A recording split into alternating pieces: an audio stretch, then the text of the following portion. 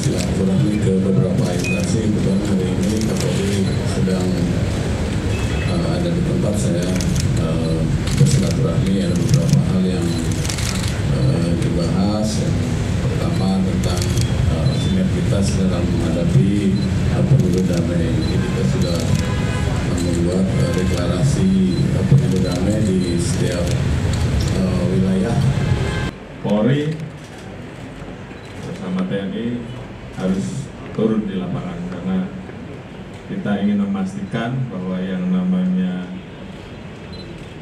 kegiatan tahapan pemilu, distribusinya, kemudian pelaksanaan kampanyenya, sampai dengan kegiatan di TPS nanti, pengawalan rekap menghadapi sengketa-sengketa yang ada semuanya bisa berjalan dengan aman dan damai di tengah perbedaan pendapat, di tengah perbedaan uh, pilihan.